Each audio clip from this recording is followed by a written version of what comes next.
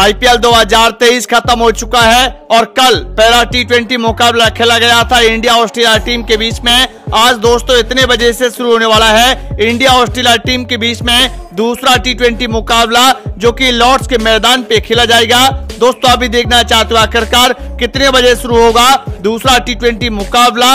इस वीडियो को एक लाइक करिए, चैनल को सब्सक्राइब करिए, वाला आइकन दबाइए और नोटिफिकेशन पे क्लिक करना बिल्कुल ना भूलें।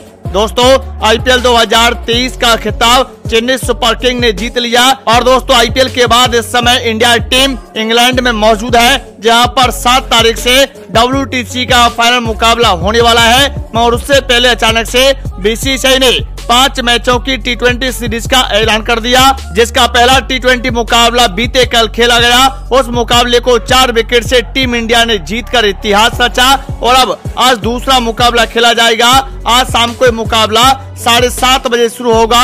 इंडिया समय के अनुसार और सात बजे टॉस हो जाएगा, जो कि द लॉर्ड्स के मैदान पे खेला जाएगा।